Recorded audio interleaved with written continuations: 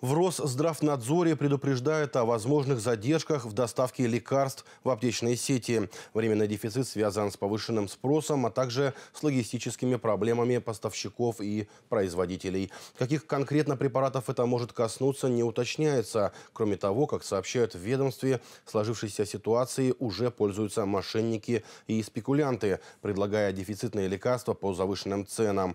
Жителей просят не поддаваться панике. Лекарства, приобретенные у перекупщиков могут оказаться фальсификатом.